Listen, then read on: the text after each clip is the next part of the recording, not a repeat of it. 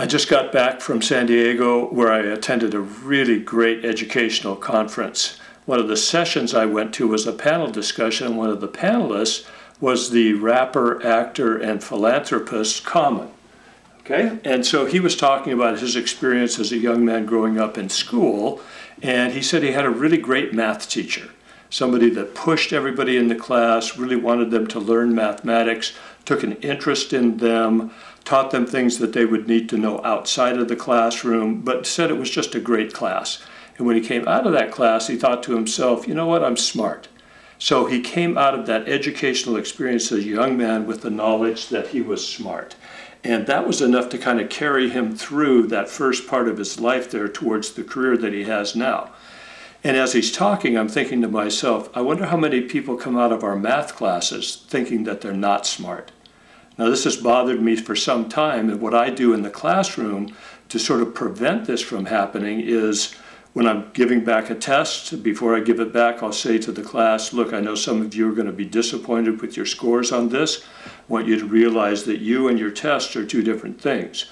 Your future is just as bright as it ever was, regardless of what your score is on this test. And if you got a score that's lower than you wanted to have on this test, it's not a matter of whether you're smart enough or not. You're already smart enough to pass this algebra class.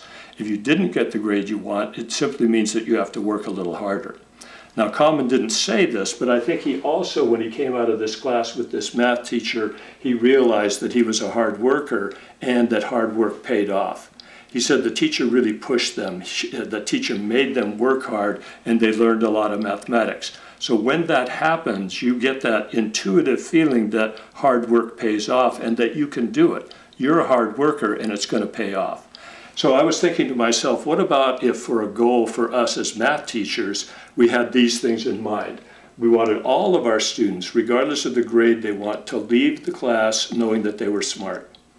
Second, knowing that they were hard workers or could be hard workers. And third, what about if they knew that they were good at critical thinking? I'll get that, just a minute. Uh, the phone rings sometimes at just the wrong time. Anyways, so what about if our students came out thinking to themselves, you know what, I'm good at critical thinking. No matter what the situation is, I can sort through things and get pretty close to the truth. So these would be some pretty good goals for us, I think.